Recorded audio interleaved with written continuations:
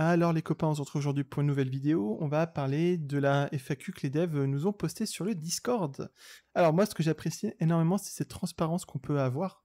Euh, c'est qu'à aucun moment on reste dans le flou. Dès qu'il y a un problème, on a un retour de la part des développeurs. Donc euh, merci tout d'abord pour cette euh, transparence. Je pense qu'il y a beaucoup d'autres entreprises qui pourraient prendre exemple sur ça. Voilà, à aucun moment, on peut se souvenir hein, du premier gros patch qui est sorti à quelques jours après le lancement du jeu. Voilà, j'étais extrêmement surpris. Donc euh, continuez comme ça. C'est comme tout, on peut être d'accord avec les mises à jour ou pas. Mais voilà, on voit qu'ils essayent de faire au mieux pour satisfaire la communauté. Alors, la première question, les amis, concerne justement l'événement au début de la saison qui vous oblige à monter la puissance d'1,5 million de, points. Et euh, bah, le, point qui était remonté, c'est que c'est trop compliqué monter, euh, de monter autant de puissance en si peu de temps. Et donc les devs ont répondu que, bah, en effet, c'est compliqué pour euh, certains comptes parce qu'ils doivent tout simplement entraîner des troupes et il n'y a rien d'autre à faire. Et alors que bah, sur des nouveaux sur des nouveaux serveurs, tu as tout à monter. Donc dès que tu as monté ton hôpital, tu vas prendre de la puissance, etc. Dès que tu prendre, dès que tu as monté la GDV également. Et donc, il réfléchirait à remplacer cet événement lors de la prochaine saison. Donc voilà, White and See, on n'a pas d'effet d'annonce, on n'a pas une annonce extraordinaire, mais encore une fois, il y a un problème, il n'y a pas de... Voilà, au début, en lisant la question, la réponse, je me suis dit, oulala, ils vont nous faire le clash free-to-play, cash player. Non, c'est ok, on a entendu et on va trouver une solution pour la suite. Donc voilà, c'est vraiment quelque, quelque chose que moi j'apprécie euh, énormément. Ensuite, la deuxième question, elle concerne justement le fait que lorsque vous allez déplacer des... votre légion proche d'une ville, tu vas ralentir. Et moi, ça m'est déjà arrivé. Où voilà, tu essaies, de t'enfuir, tu te fais ralentir, clac, tu te fais attraper et tu te fais tabasser dans, dans, une petite ruelle sombre. Euh, alors, ils ont dit que voilà, ce, problème euh, a bien été euh, pris en compte, que ça a été optimisé pour la prochaine version, donc la 1.0.17, et que, le, voilà, que la collision ne va plus affecter la vitesse de marche. Donc ça, c'est cool. Donc pareil, à voir, est-ce qu'au final, ça va pas aussi le rendre broken en PvP Mais appréciable. Voilà, ils essayent, et je suis sûr que ils vont pouvoir nous, nous dégoter un, plan B s'il y a le moindre souci. Ensuite, bah, tu as des joueurs qui se plaignent justement de la fin de la saison, où euh, globalement, une fois que tu atteins le, la dernière euh, histoire, euh, en tout cas le dernier chapitre du jeu, bah, en fait, tu plus rien à faire. Et ça, je suis d'accord avec eux. D'accord C'est que, voilà, tu passes une semaine à faire du Farmville. Après, c'est une bonne chose parce que ça te permet de récolter énormément de ressources, de prendre du temps pour développer ton compte et surtout de préparer à la nouvelle saison. Donc moi, c'est quelque chose que j'apprécie personnellement. Après, voilà, je peux comprendre que tu as des joueurs qui ont mis par exemple 20 000 balles sur la table. Bonjour, moi je suis T5, j'ai genre un milliard de ressources de, chaque type. Je veux jouer en fait. Je peux comprendre.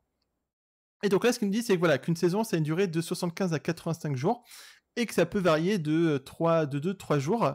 Mais leur objectif, c'est pas que cette saison dépasse 90 jours. Donc ils ont réfléchi à un système pour euh, justement réduire ce temps d'attente euh, pour euh, la saison 1. Par contre, globalement, bah, le plan n'est pas encore abouti. Donc voilà, il n'y a pas de nouvelles, il n'y a pas d'annonce encore une fois fracassante à, proposer. Mais c'est pareil, cette plainte a été remontée dès la fin de la première saison. C'est appréciable de voir que bah, ils nous disent tout simplement que c'est pris en compte, mais ils ont aussi l'honnêteté de nous dire, en fait, le, on n'est pas encore prêt les gars. Je préfère qui nous disent salut, je t'ai entendu, par contre là on peut rien faire, laisse-nous un peu plus de temps que oui oui oui oui ah attends euh, j'ai demandé à mon poisson rouge de trouver une solution. Il a dit qu'on va euh, réduire de 50% la durée d'une saison.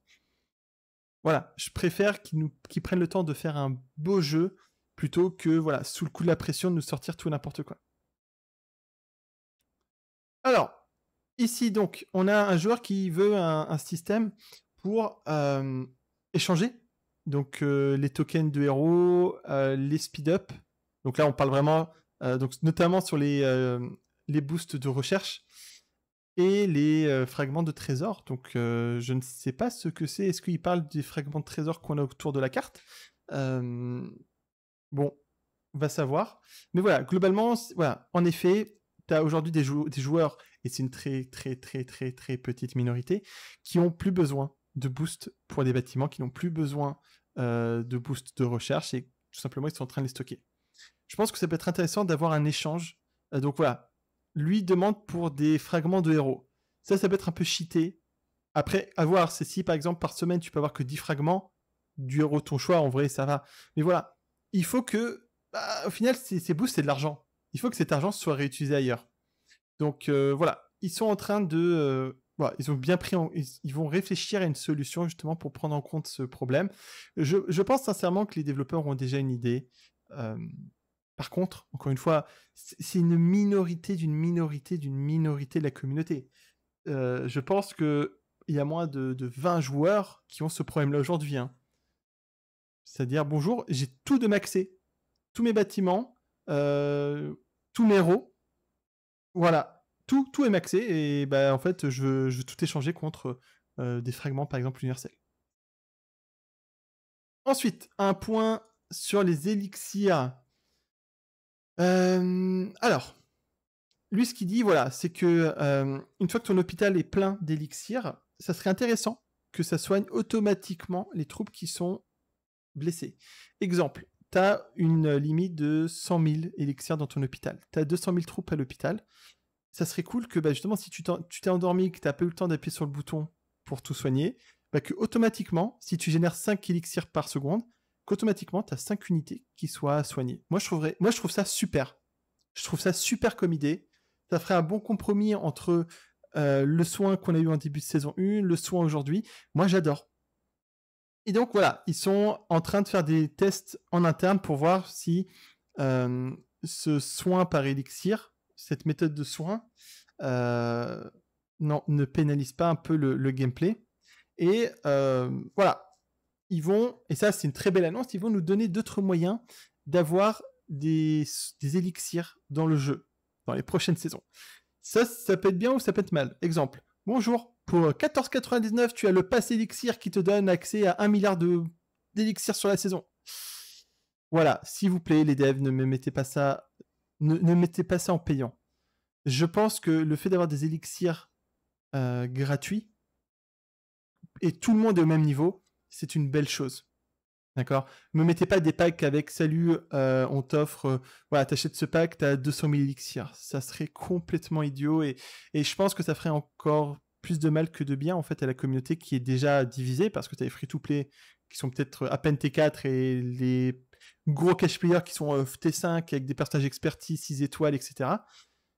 Je pense que ça peut être pas mal de pas mettre un système pay to win. Alors ensuite, euh, il propose de faire un, chat sur euh, pour l'union. Donc l'union, c'est donc c'est le système qui a été mis en place après la saison 1, où tu as deux alliances qui vont pouvoir jouer ensemble et ne pas s'attaquer. En effet, je pense que voilà, le chat pourrait apporter une couche d'organisation supplémentaire, de facilité. Aujourd'hui, on utilise Discord, donc que ce soit BDO avec BDM. Voilà, on a Discord, ça se passe très bien, mais en effet, je pense que voilà, avoir un système en jeu, ça peut toujours faire du bien. Et euh, voilà, ils réfléchissent à cette possibilité d'implémenter ce chat pour euh, justement que les joueurs puissent euh, avoir une communication plus simple durant, durant les combats et le développement de, la carte. Alors, et là, les copains, nouvelle plutôt. Alors, question plutôt sympa. Est-ce que les héros avec un talent d'ingénieur peuvent avoir de l'expérience en construisant des bâtiments d'alliance? Eux, ce qu'ils nous disent, c'est que voilà, aujourd'hui, la manière dont les héros récupèrent de l'expérience euh, bah, ils sont satisfaits en fait de euh, ce système-là. Et euh, voilà, aujourd'hui, ils ne pensent pas rajouter cette, cette fonctionnalité. Moi, je trouve ça dommage les devs. Hein. Moi, franchement, je serais. Alors, surtout que c'est pas des héros que tu vas. Ce qui est dommage encore une fois, c'est pas des héros que tu vas jouer, enfin que tu vas envoyer au combat.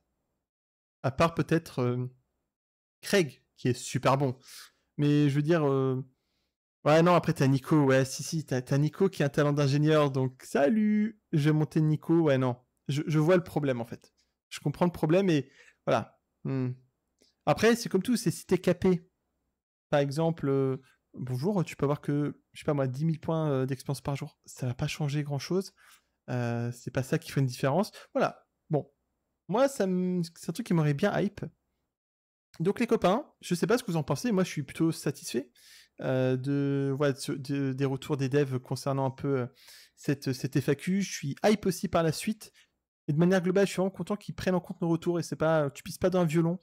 Euh, même moi, pour avoir un accès direct quand je leur parle, bah en fait ils t'écoutent vraiment, ils reviennent, ils reposent des questions. c'est pas juste, vous, vous connaissez, hein.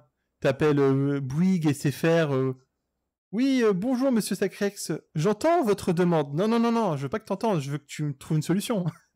Donc voilà les copains, plutôt très satisfait, dites-moi en commentaire ce que vous en pensez. Comme toujours, lâchez un pouce et quand tu vous a plu, abonnez-vous pour ne pas manquer les prochaines vidéos et je vous dis à très bientôt sur Discord.